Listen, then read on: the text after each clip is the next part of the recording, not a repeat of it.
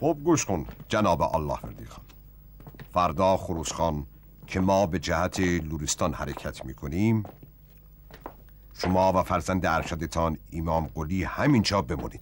بسوری از ما سر زده که جناب همایونی از افتخار حضور در مرکب شاهی محروم ما می‌کنن برای شما خدمت دیگری داریم که اجرش کمتر از اولی نیست. گوش به فرمانم جناب مرشد کامل. ما اشرافیت قسید باش را علل اتصال به خاک مسیلت کشیدیم. تا در عهد ما اون فتنه ها نکنند که در عهد پدران ما کردند. حالیت به که ضرب شستی هم به طبقات مادون نشون بدهیم. دیروز از در تکیه درویش خسرو ایفازهای مشکوک شنیدیم و بوی دسیسه مشاممون آزرد البته در باب زن خود مردد بودیم. اما آل حال که علت قتل عنایت خان شاملو معلوممون شد مکدریم. اگر قیبت ما از تختگاه تبید بشود. انقریب که این درویش سیاس و اهل حلقه احمقش فتنی در گزمین بپا کنند میفرمایید چاره چیست جناب همایونی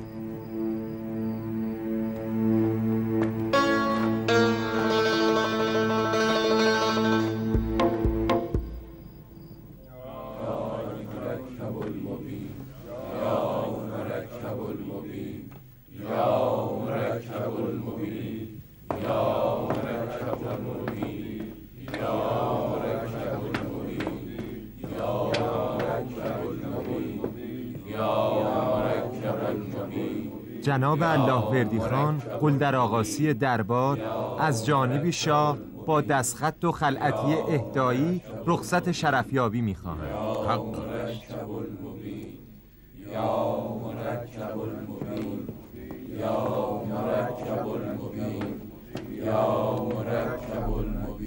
از مرید خاصه آقا مطی خبری نشد. هیچ خبری نشد.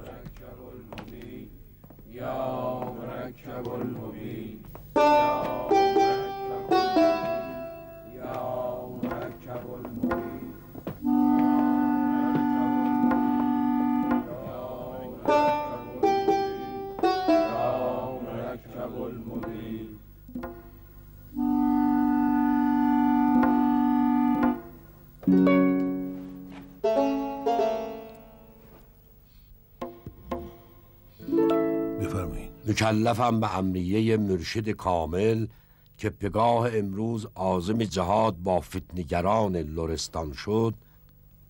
پیشکشی همایونی قبای اطلسی زر دوزی شده به دست خیاطان کهنکار گیزازی خانه سلطانی. تقدیم پیر اتمم جناب مرکب المبین زمیمه مرگومه شریف شاهی.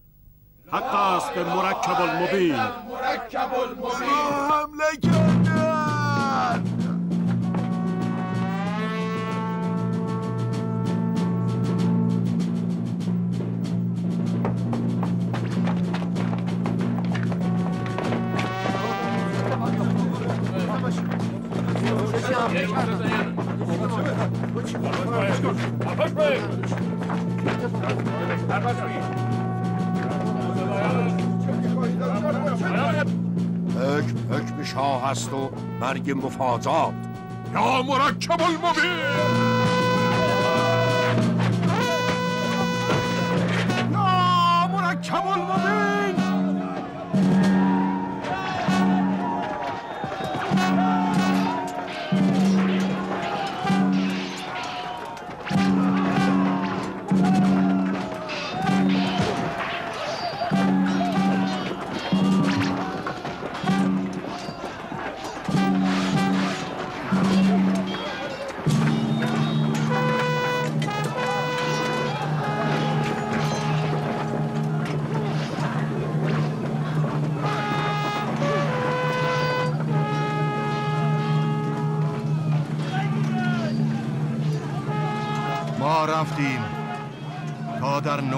نشعه دیگری برگردیم.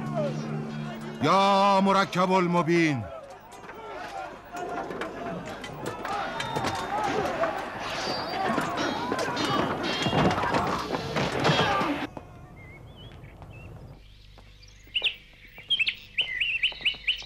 هاشا و کلا. میهمان حبیب خدا جناب قورچی باشی. یا للجا به مأموریتی آمده ای که توفیق تو در آن برای من جز روسیاهی و لعن و نفرین اهل سمری در پی ندارد. اهل از جناب شوکت پناه جز در مقام پدرزن ولیعهد معزز ایران و یار شاه ایران یاد نخواهند کرد. به چه بهایی جناب قورچی باشی؟ حد که اصول مروت و مدارایی که اهل فضل این آب و خاک در حفظ آن احتمام وافر کردند. اگه این کار رو بکنم می سلام ده هیچ کس علیک نگیره. فرمایش جناب خان را به دقت شنیدم. علا ای حاله این حقیر معمورم و معذور. اگر جناب سلطنت پناه اجازه بفرمایند مرخص می شویم جهت رفع خستگی راه. نیمروز فردا برای دریافت پاسخ خدمت خواهیم رسید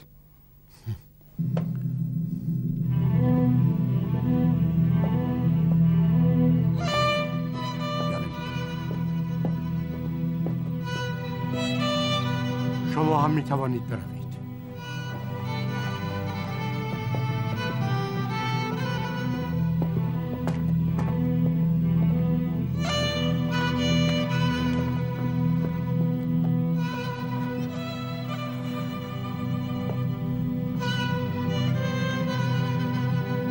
آدم گرفتار خر ببه.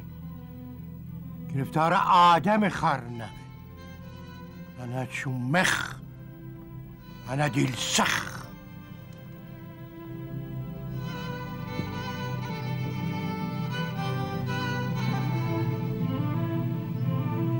می‌بینید شاهزاده خانم برادرزاده شما دست بردار نیست. سرداران پناهنده به ما را هم می‌خواهد. یحتمیل رو می‌خواهد شما را محک بزند. آها. که چه؟ من به جهت محاسبه ایار وفای شما. اون هم در این موقع فرخونده که رشته از هم گسسته مودت مرمت شده.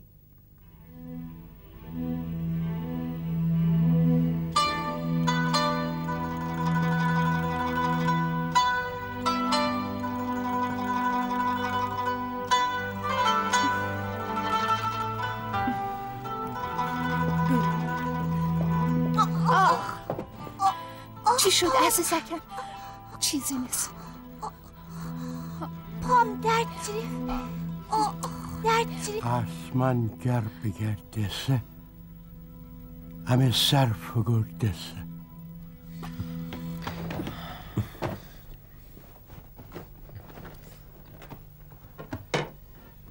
حالا که چند سبای پاپی فروکش گرد و خاک معرکه نقطویه ایزن متمرکز درس و مدرسه شدم همه او ابهامات و گره های ناگشوده قدیم باز از نو سراغم اومدن.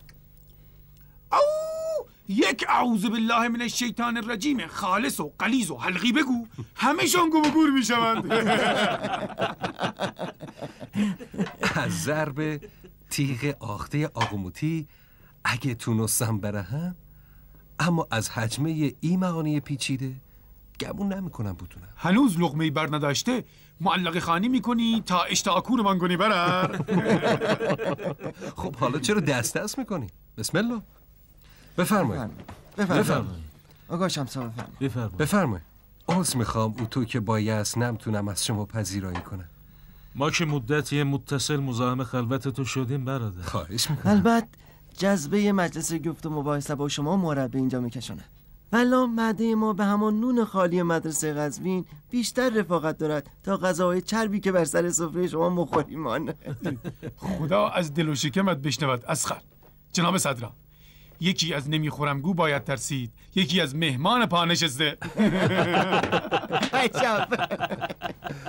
بر من منت می‌ذارید که تشریف میارید بنده خلوت رو خیلی دوست میدارم.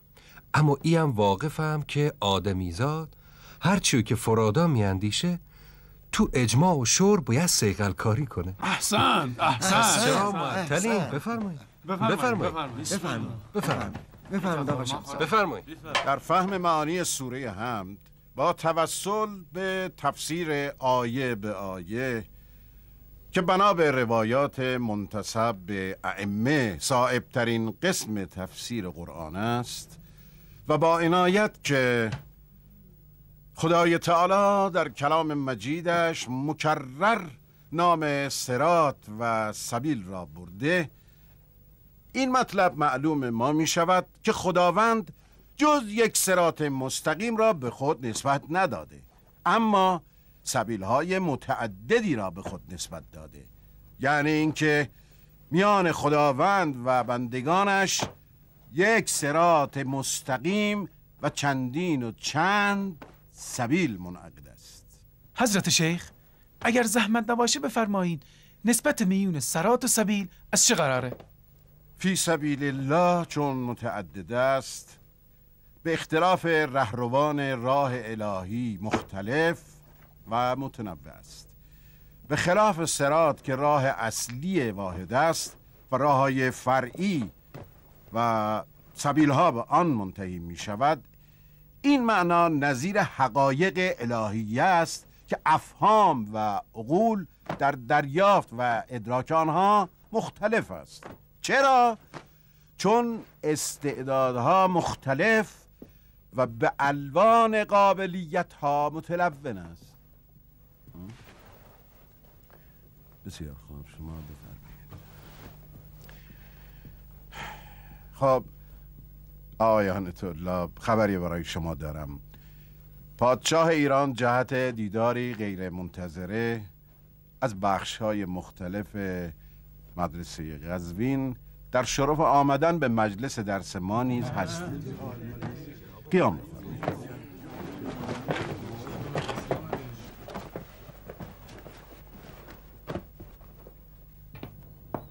سلطان خلداشیان جنت مکان جناب مرشد کامل تشریف فرما می شوند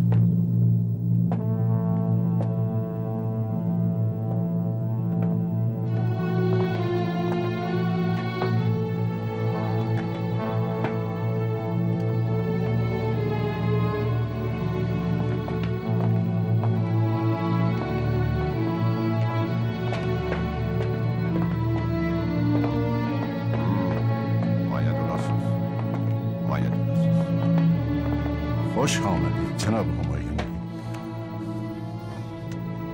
به شکرانه رجعت زفرمندان از قاعده گورستان عزم کردیم امروز را به دیدار آیان به مدرسه گزوین بیاییم.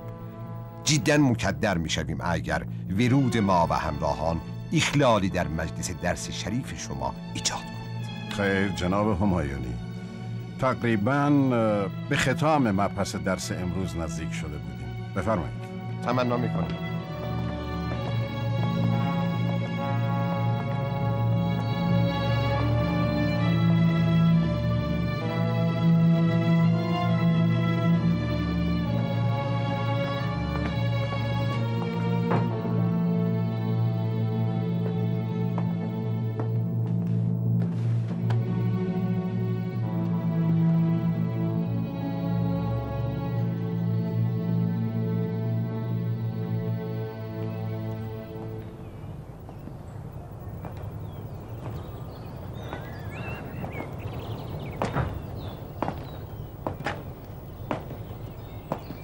او همه ما را خواهد کشت. در هر حال به پاس محبتی که در این چند سال به من و همراهانم داشته اجابت امر می‌کنیم. واقفم که شاه جنمی کینه دوست دارد. اما استدای شوهرم و پدر زن ولیعهد خیش را در خصوص شما نادیده نخواهد. جناب خان با اطمینان از قبول خواهش خود از جانب شاه است که شما را در معیت فرستاده وی جناب قورچی باشی دربار صفوی روانه تختگاه می کند.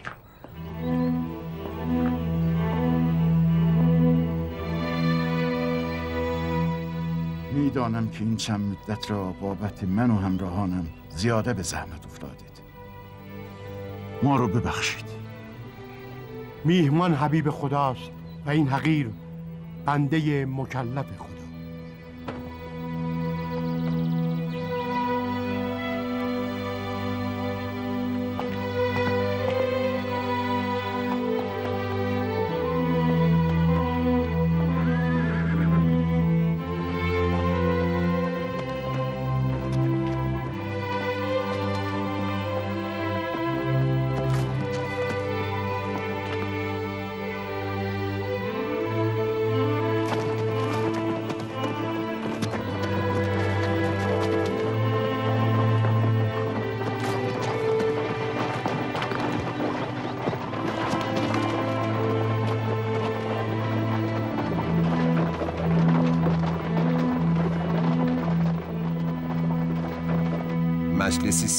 با دانشمندان معزیز و گربه حضور در مدارس علمی بیواقع برای جناب ما محل شوق و نشاط کثیر است کل باقی اوقات اشد عذاب امور جاریه دنیوی است حالی به شرط مجوز جناب شیخ الاسلام. شایقیم شاگردان شما را به پرسشی میهمان کنیم. صاحب اختیار شمایید. ما حکومت خود را حکومت کلب آستان علی می‌دانیم میون شما کدام یک بیجمال می‌تواند نسبت میون حکومت را با شرع مبین بیان کند؟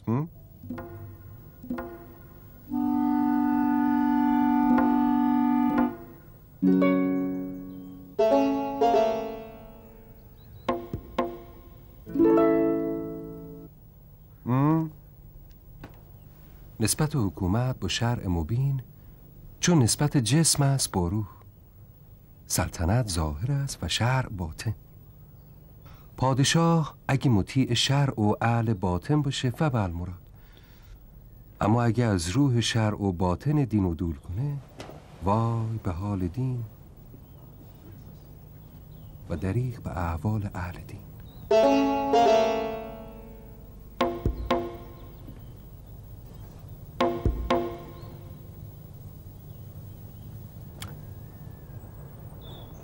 نام شما چیست جوان؟ صدرالدین محمد قوام شیرازی. جناب همایونی؟ از مرحوم قوام وزیر اسبق دارالحکومه شیراز فقط یه پسر باقی مونده که چند سنبله میشه. جهت کسب علوم و دانش به تختگاه اومده. ساقل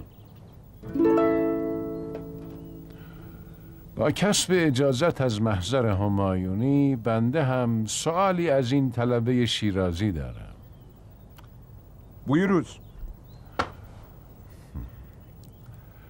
در باب نسبت میان عقل و شر چه نظری داری جوان؟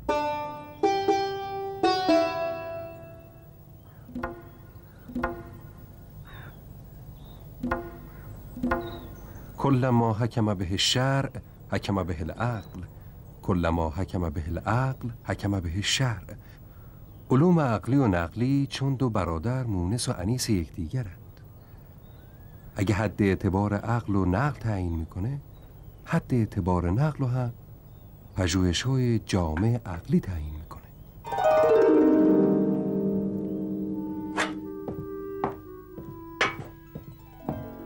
ببین عزیزکم. رسم میهمان نوازی نبود.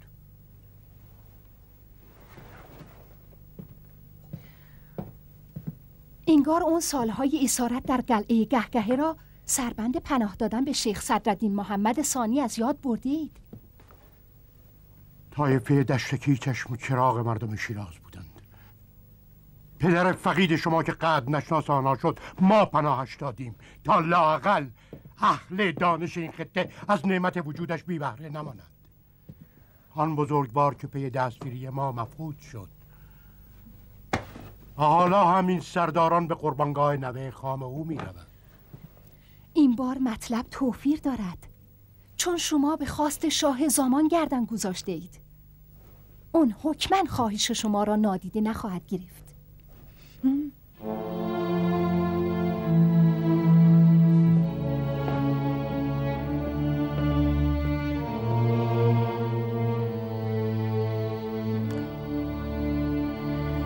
آیا این نظر شما خلاف نظر قدمای علوم منقول نیست که قائل به نسبت تعبدی نقل و عقل هستند؟ اگه عقل دارای حجیت باشه که هست اون وقت نمیشه هر نقل و روایتی و بدون براهین و اغلایی پذیرفت آیا دلیلی هم برای این نظر خود داری؟ مگه نه قرآن مجید میفرماد افلا یعقلون افلا یتدبرون درباره مشروعیت علم کلام در اثبات اصول دیانتی چه نظری دارید؟ به نظر بنده اصحاب هیچ کدوم از شعب معرفتی من جمله علم کلام نمی‌تونن ادعا کنن که فیلمسل در باب اصول پنجگانه مذهب جعفری حرف اول و آخر رو زدن غیر ای بود که دیگه امروزه ما به برکت وجود اکابری همچه خاج نصیر و ابن سینا و شیخ مفید و ابن عربی و سوروردی شعب متفاوت معرفت شناسی رو نمی داشتیم ولا جرم تمام معارف ما مسلمین خلاصه می شد در علم کلام و علم حدیث. ولا غیر. ابن عربی و سهروردی اشاره کردی جوان که بر جناب مرشد کامل و دیگر آقایان پوشیده نیست که از پهلوی حرف و کلام اینها چه فرق جور و جوری گاه به گاه سر بیرون آوردن یک فگرش همین صوفی توفیلی گردار بند مجاور درخانه ما. بسیار خوب. بهتر است دیگر مجلس درس جناب شیخ الاسلام که چون معقولات مندرج در اون قلزت می‌گیرد عقل ما را هم به سرگیجه میاندازد ترک کنیم. و به همون منگولات موردی این آیت آیان دیر خوش باش. خوب برویم با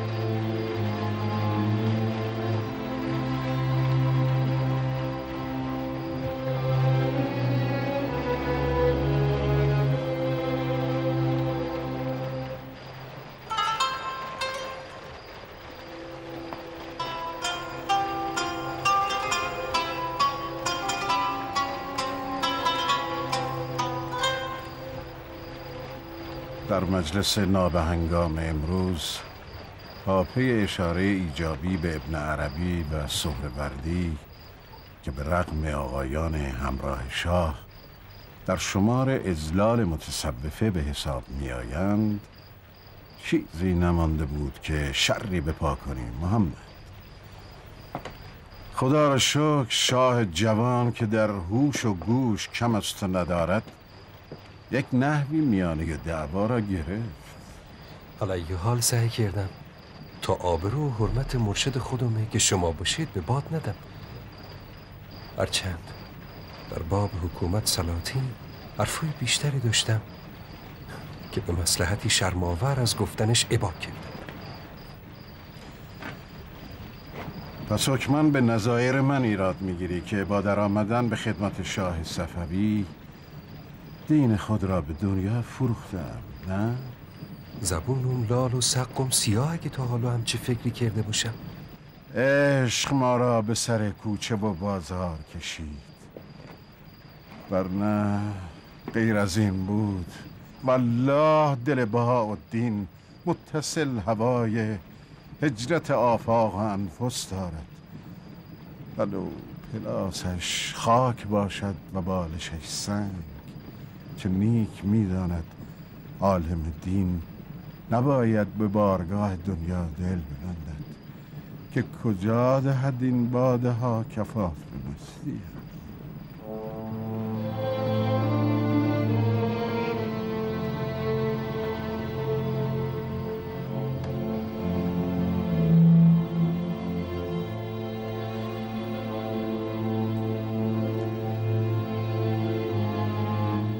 و اما تو ملا صدرای شیرازی که در این گرگ و میش که معلوم نیست صبح بدمد یا تاریکی شب بهتر که جانب حزم را رها نکنی پسرم.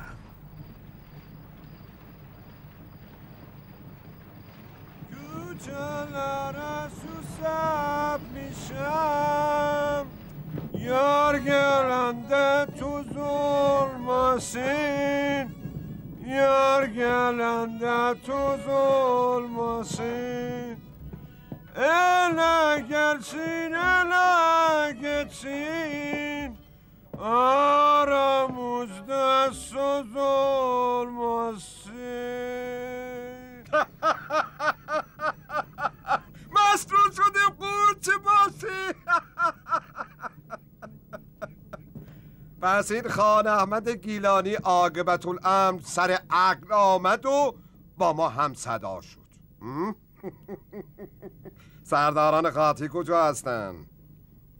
حسب الامر همایونی در حومه گزوین اسکانشان دادیم تا جناب مرشد کامل تعیین تحلیف کنند تحلیف اینها همون موقع مقرر شد که راه خیانت و فرار را پیشه کردند جاره کشدم زده کشته کشدم بود.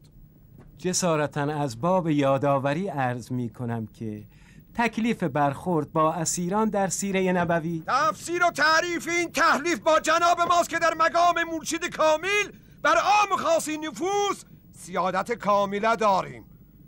کسی مخالف این معناست؟ خیر جناب مرشد کامل. این تخم و ترکه های قیزید باش عقبه همون مرشد قولی خان لعین هستند که لعله ما علی قولی خان را کشت. اختیزای عقل سلیم حکم می کند اینها هم بروند همون جایی که اون لعین رفت.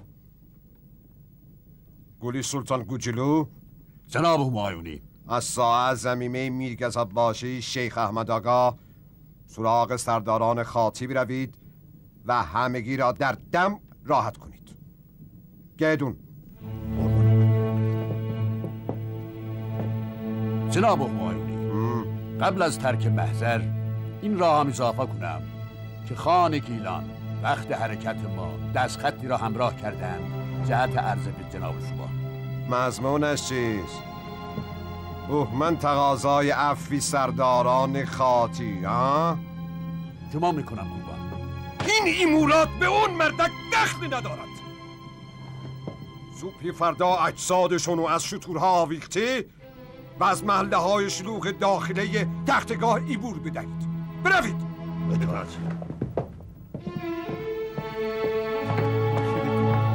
پیشنهاد می کنم در خصوص این امر کمی تحمل بفرمایید. والکاظمین بالغیظ والعافین عن الناس. میرزا لطف الله شیرازی. نوبت متواتر است که در صحت فرامین ما لا و الا میآفری شما وزیر اعظم ما هستید یا اشفع و شافعین دشمنان خونی ما؟ خدماتی حقیر از بد و احراز صدر اعظمی تا این لحظه جز تحکیم و عزت حکومت صفوی نبوده است. اما مدتی است که نقل نسبت ما با تو نقل زوجی است که ملازمتشون مایه نگار بیشتر می شود تو لطف کرده ایم که در این حال گلیان سیرفن به خل این مقامت بسنده می کنیم اما جناب همایون دیگر بس هست! برو که دیگر تو را نمی خواهیم گرد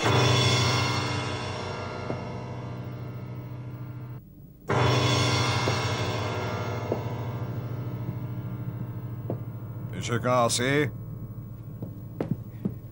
الهی ایشه که آقاسی پیش مرگتان بشود. بفرمایید. مایلیم همین هفته حاتم به گردو بادی به حضور ما شرفیاب شود. گت.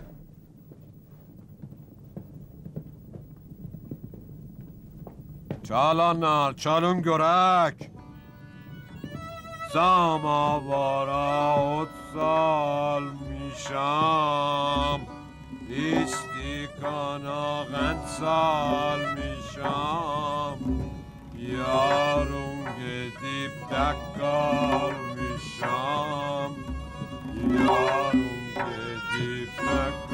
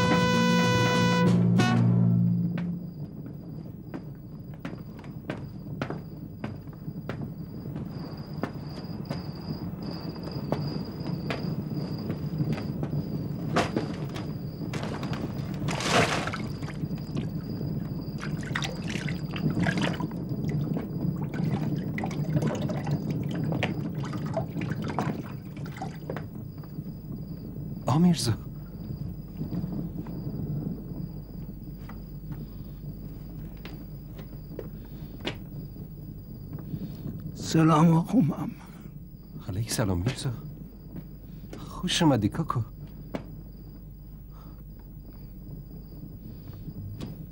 پس رابعه خانم کو؟ ای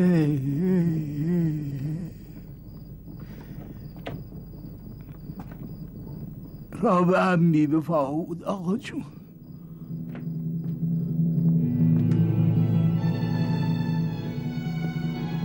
طاقت فراغ برادر. ما تنها گذاشت و اسمی اون رفت.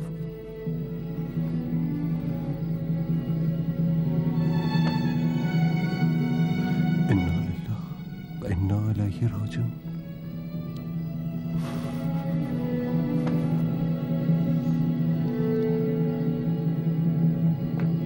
تو قصبه تقی آباد علمون. کمکی کرد. خدای ناهی کاری کردم. انجام شد. با خدا اگر نبود تکلیفی که فاطمه بانو. از بابت شما بر زمم گذاشته. دوست داشتم همونجا کنارت مزارش میمونم و دیوار رو.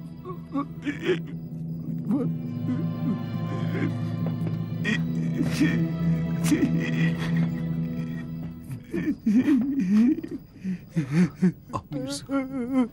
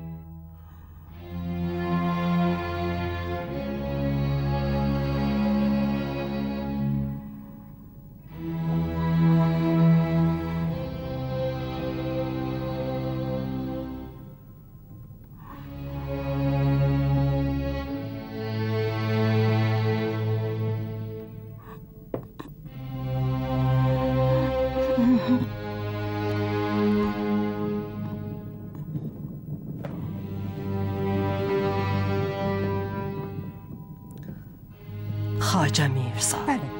فیلفور برو پیش اشیک آقاسی بگو شاه را خبردار کند. چشم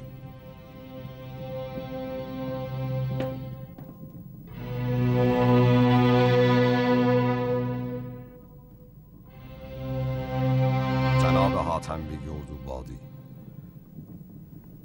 در مقام نوکری وطن دوست و خوشنام به عنوان وزیر اعظم جدیدی ما مایلیم در مرتبه اولا. تعمل عبرت آموز کنید. از باب اون چه ما را از میرزا لطف الله مخلوع دیل زده کرد.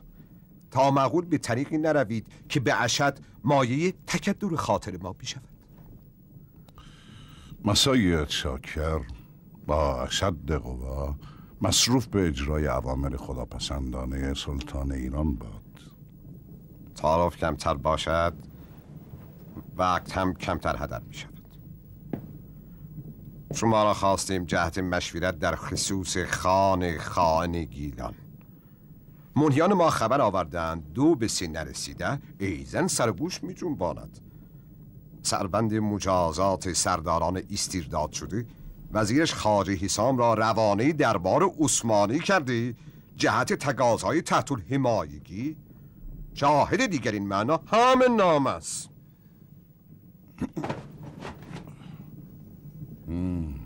نامه سلطان عثمانی بله. و اعلام حمایت کرده از این ملعون و خواسته تا ما در امور اداره گیلان کاری به کار او نداشته باشیم باید بی فوت وقت ایشون بفرستیم جهت کنفیکون کردن این خائن. نظر شما چیست؟ شاکر نظر ویژه جز همرأی با خواست همایونی ندارم. مزالک چنانچه موافق باشید. بهتر این است که به سبب نسبت خیشامندی قویم و صد البته از باب اتمام حجت قایی نامه برای او مرقوم بفرمایید. و مضمون نامه؟ اولا بداند که خبر شکایت بردنش به دربار اسپانی برای شخص همایونی فاش شده است. در ثانی جهت رفع سوء تفاهم و بدگمانی یا شخصا به پابوس ذات اقدس بیاید. یا اینکه وزیرش خاجه سام را برای رفع اختلاف به تختگاه بفرستد. این تدبیر را میپسندیم.